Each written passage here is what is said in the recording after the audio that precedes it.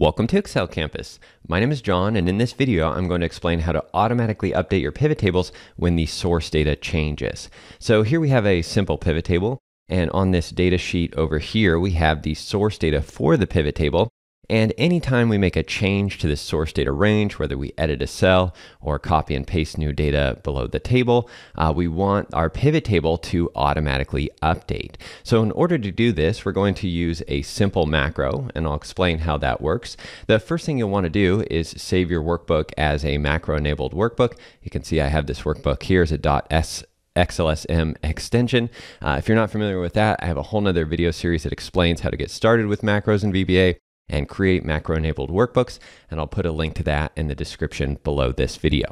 So we're going to open the VB editor, uh, developer tab, visual basic button, keyboard shortcut is Alt F11. And within the VB editor here on the left side in the Project Explorer window, you want to find the workbook that you're working in that contains the pivot tables. And then within that, we want to find the sheet object that contains the source data. So here within the Microsoft Excel objects folder, this might be collapsed. You can go ahead and expand it. And then here is our sheet. The data sheet contains that source data.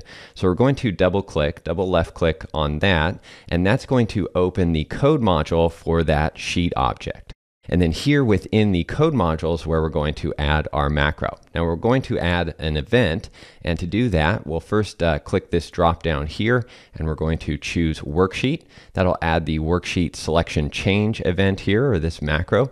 Uh, we don't actually want that one. So from within this drop down over here, the procedure drop down, we're going to select change. Select the change event right there that will add the worksheet change event right here. And this is the one we want. We'll go ahead and delete the selection change event uh, because we don't need that. We don't want this to get confusing. So the worksheet change event, this macro will run anytime we make a change to this worksheet. And specifically, anytime we edit a cell or multiple cells or make changes to cells within that worksheet, this macro will run. So this is where we want to put the code to refresh our pivot tables. And that can be done with one very simple line of code, which is this workbook or just reference the workbook, this workbook dot refresh all. The refresh all method is going to refresh all the pivot tables, any queries and connections, data connections that you have in the workbook. It will refresh all of those when we run this line of code. It's the same as if you're in Excel and you hit the refresh all button on the data tab of the ribbon. So that's all we really need there. Let's go ahead and test it out. So we'll jump back over to Excel. Again, we're on our data sheet here, and if we just make a change to any one of these cells here, let's just make a change to this cell, and we'll make it a really big number so we can definitely see a change in our pivot table. And I'll hit enter, and once I hit enter there, that code runs to refresh all the uh, pivot tables in the workbook.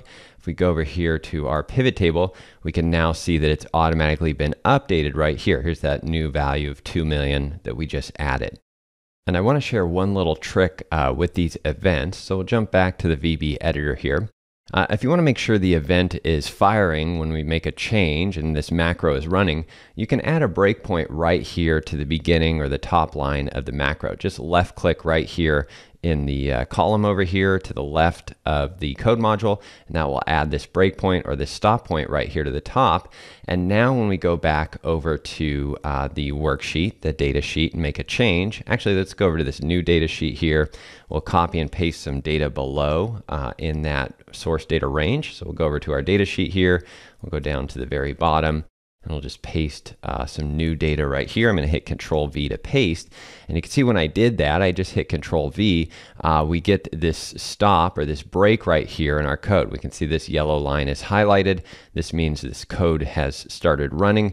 And now we can either hit F8 on the keyboard to step through each line of code. Now we only have one line of code here, so I can hit F8. That'll highlight this line of code hit F8 again, that will run that line of code, refresh all of the pivot tables in the workbook, and then I'll hit F8 again to stop running that. So that's one way to just stop this and debug this and also make sure that your worksheet change event is firing or it's running when you make a change to the worksheet. If it's not, you might not have the macros enabled in the workbook. So you might need to close the workbook, reopen it, and make sure you enable macros.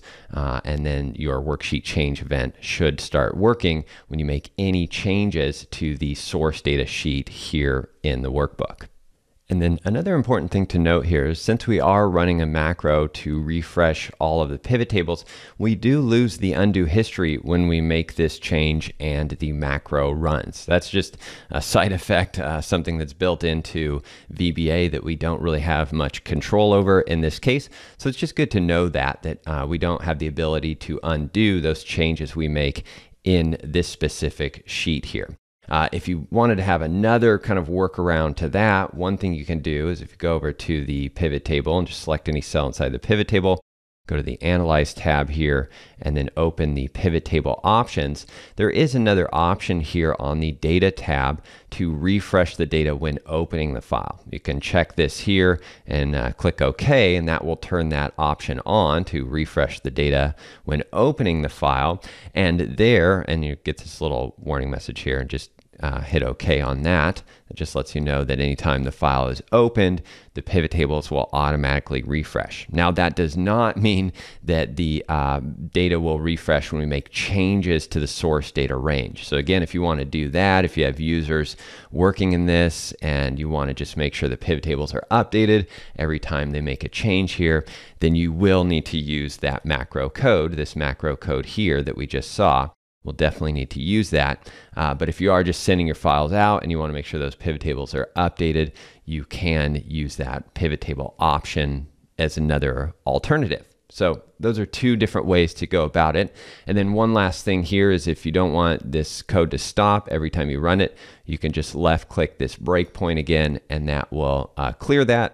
And now every time we make a change in our source data range, if we go back, let's just go back up to the top here We'll change this back to 150, hit enter. That code will run, the pivot tables will refresh, and we can go back over to this tab here and see that our numbers have been restored to what they previously were. And then finally, I just wanted to share a few other ways to refresh pivot tables. Uh, we just saw this line of code, which will refresh all the pivot tables. It will also refresh all of the queries if you're using Power Query, or refresh all those queries or any data connections as well. If you don't want that, uh, you can just refresh the pivot tables only. And I added some code down here. I'll make this uh, file available for download and put a link in the description below this video. So here's a few different ways to just refresh the pivot tables. We're actually refreshing the uh, pivot cache that's connected to the pivot tables.